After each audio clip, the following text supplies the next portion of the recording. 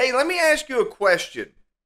I wonder if anybody else's kids are like mine. Drop me a comment if you see this and if you can answer this. I'd like to like to hear from you. So my kids have a really hard time with interrupting people, and it drives me nuts. And when I say people, I mean me, right?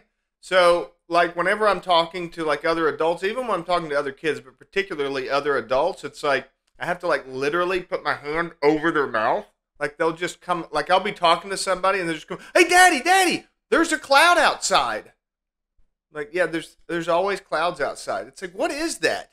Why do they like they see you talking to somebody, and then that's the other thing too is like they completely ignore you all the time. Like you can tell them, you know, do this, don't do that. Hey, your you know your milk's too close to the edge. You need to move that, and then of course they spill their milk.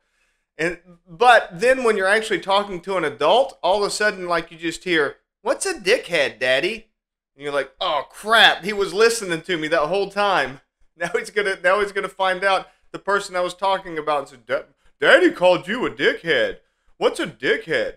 So that's to be my problem. I don't know. I don't know why kids are like that. Why can't they just? Is it just like totally impossible for them to be quiet? They can't. It's like this. This is an insurmountable challenge. Like they've got the sixth sense of, oh look, Daddy's talking to another adult. Let me make sure I go over there and interrupt him. I don't know what it is, but it can be quite frustrating at times. The problems, the challenge, the struggle of being a dad. Oh, it's real. It's real.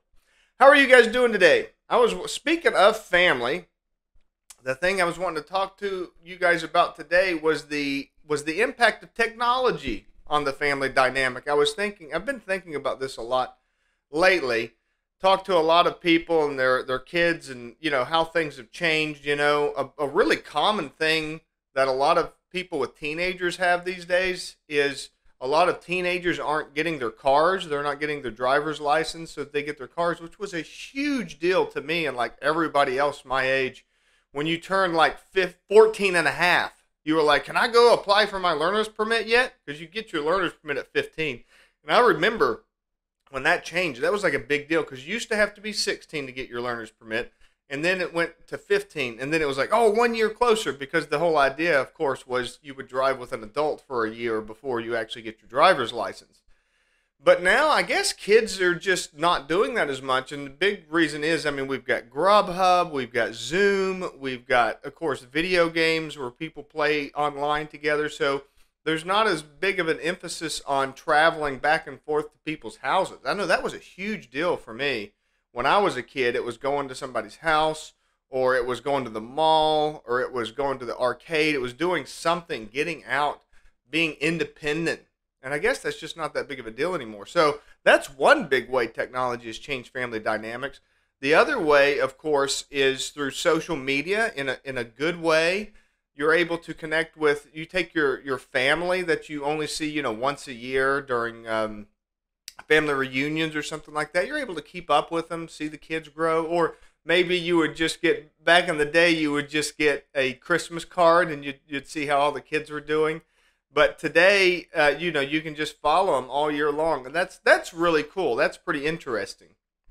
The other big thing that I remember as a kid that's totally gone now. Well, I shouldn't say totally gone that's largely gone now is the shared media experiences. I remember at like eight o'clock at night. You know, we had certain shows that we would watch, and like the, those prime time eight o'clock shows, we would all sit down and watch together. Shows like you know, like the uh, TGIF block. I think that was on ABC, wasn't it?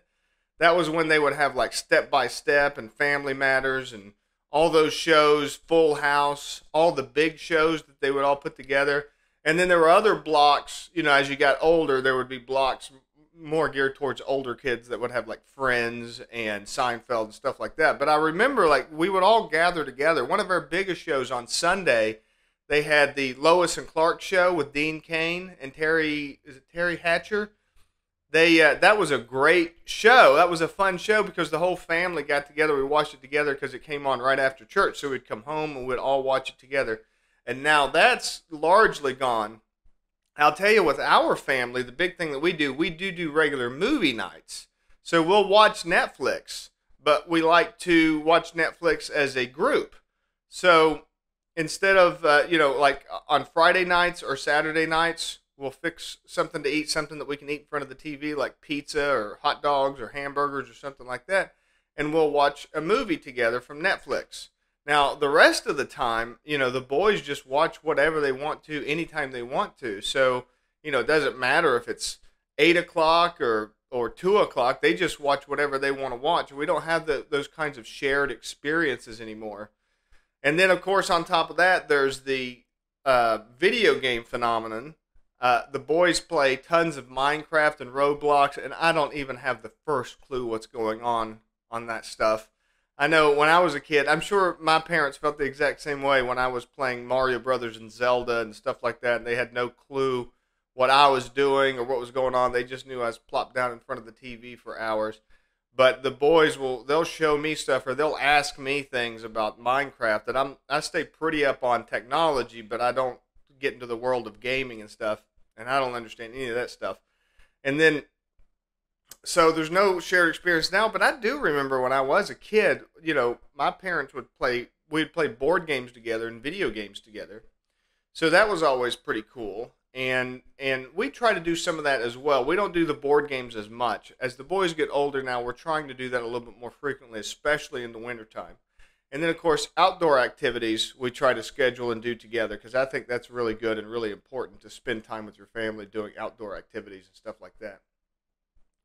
But you know, the there's just tons of freedom available now thanks to technology. It's not like it was when we were kids. I mean, you only had a handful of things you could do and everything cost money. The only thing that was free was going to the mall and you could just, you know, kind of go there and and hang around and, you know, uh, waste time really. I think about that quite a bit. I couldn't I couldn't describe for you like if you were to ask me what I did when I went to the mall with my friends when I was a teenager, I couldn't just like I couldn't write it down. I don't know what we did. I don't have any singular memory.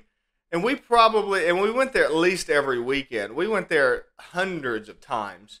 And I don't have any singular memories about what I did at the mall. I just remember going to the mall and hanging out. We would go get something to eat. We would go walk around the stores, but it's so weird. It's like it's like this big just singular memory. I wonder if the kids are going to be like that with Minecraft when they get older. You know, because they play it so often, they're probably not going to have any specific memories of any specific times. The uh, now, there's lots of good technology that has made family dynamics a lot easier too. Now, of course, when we were kids, you had kind of your boundaries. You go out and play until the streetlights come on. Now, kids can go different places, but they have phones and, and they're able to communicate. Now, we don't let our kids have phones yet. Our boys are only nine and six, and I know some some parents let their kids have phones by then, but I just don't think I don't think it's quite appropriate for them yet. There's just too much, and I need to. Uh, there's just too much out there on the internet that's seems really negative. Not just like illegal either. Like there's a lot of there's a lot of stuff out there that's just like weird rabbit holes and and stuff that seems like a, a huge waste of time. And so I want them to think about I want them to live in the real world and be productive and understand the real world as much as possible. So I just kind of keep away from from that type of stuff. Keep keep them away from like social media and that kind of stuff. And I do I post things and I uh, and I and I share stuff with them, and we do stuff together for posting and shooting videos and stuff like that. But I do avoid letting them, you know, just just scroll through stuff because I don't think that's really very good for you, especially when you're young. I remember when the boys were real young, uh, I, I took them to a park and I saw this little girl playing in the park, and she was on her phone and she was like eight years old, and it was this beautiful sunny day. It was summer. It was warm. There's all these kids playing on the playground, and here she was just over on this picnic table, tapping away on her phone, looking at something. And I remember thinking, "That's that's awful. That that's that can't be good for a developing brain."